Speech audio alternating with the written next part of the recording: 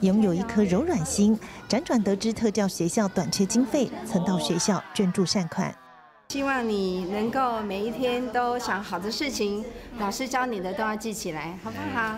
祝福你哦，哈，祝福你。热心公益的李阿丽致力推广茶道，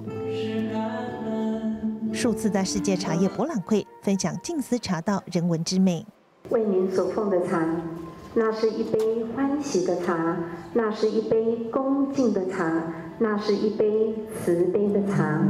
以茶结善缘，到明道大学开设茶道课程。尽管身兼数个重要职务，忙碌之际不曾停歇对人文活动的关怀。恭请校长颁发名誉学位证书。学校特地颁发名誉博士，肯定对教育奉献。恭喜李博士！上人告诉我们，教育就是教之以理，育之以德。所以我只是把上人教我的，然后来告诉孩子，然后也走进校园来影响师生，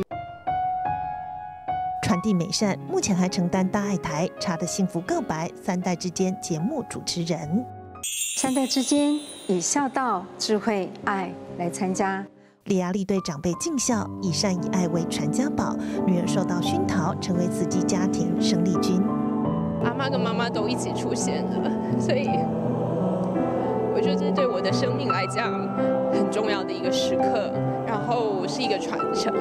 付出无所求的心，让李阿丽的人生更加圆满。大爱新闻中部综合报道。